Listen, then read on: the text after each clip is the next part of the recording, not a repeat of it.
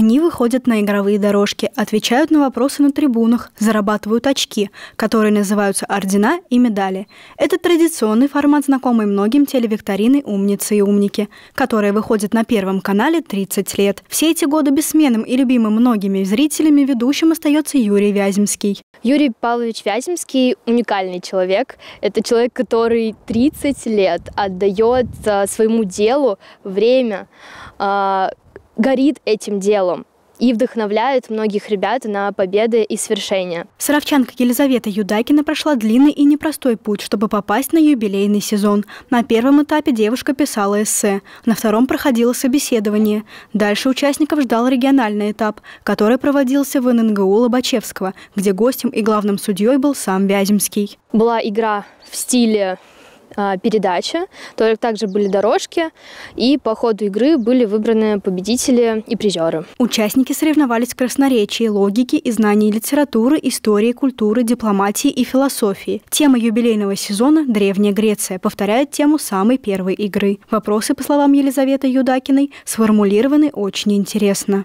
Уникальность э, передачи этой Олимпиады в целом в том, что ты не знаешь, что тебя могут спросить. То есть дана определенная тема, но э, больше ничего. И в этой теме обширное количество вопросов, которые могут быть охвачены в передаче. Елизавета считает, что участие в телевикторине позволило ей не только проверить свои знания и узнать, как проходят съемки таких передач. Благодаря игре девушка также нашла новых друзей из разных уголков страны. Екатерина Шмакова, Евгения Шевцова, Сергей Рябов. Служба новостей Саров 24.